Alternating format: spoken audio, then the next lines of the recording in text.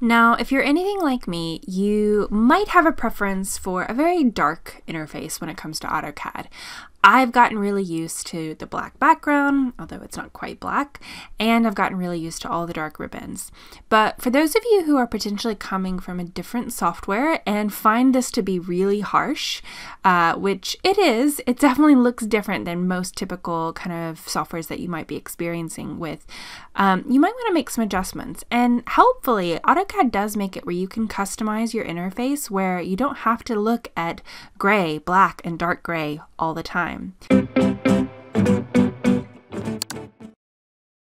So to adjust your interface where you have a little bit of a lighter view, all you have to do is go to the A menu, go to Options, then under the Display tab, you can change first your color scheme to light, and that's actually going to change all of your bars to this lovely kind of lighter gray, which again, if that's something that you're more used to, it can help it make it feel like some more familiar softwares.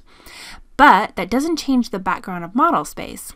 So instead, you might go click here, colors, and here's where you change your background.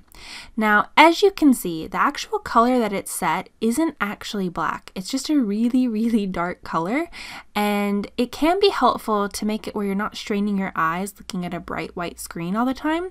And I would actually recommend not ever going full blown white because it can just be really difficult to look at that for hours on end. And sometimes that's going to be how you're looking at AutoCAD.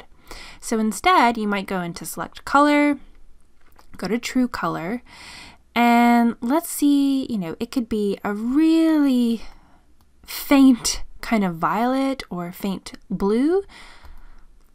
And that can be lighter, but just a bit more gentler. So I click OK. And suddenly I have all of these different things going on. I can turn off my grid and I can still see all my lines. Now, it may be that some of your layers, if you have them set up in different colors, that they're not going to be as easily visible on your new background. And that could be something to keep in mind as well. That a lot of times when you have different colors, they are going to be a good contrast on that dark background. Whereas if you have a lighter background, then you might need to change some of those colors. But overall, this can be a nice way for you to brighten up your AutoCAD interface if you would like it to look a little bit more similar to some of the other programs you work in. Of course, if you accidentally do this and want to change it back, all you have to do is go to A, Options, change it back to dark, Colors, and go back to that original color 33 40 48 and apply and close okay and there you have it back to normal if you liked that video, check these out and click to subscribe where you'll be the first to see new videos I release every Monday. Thanks for watching!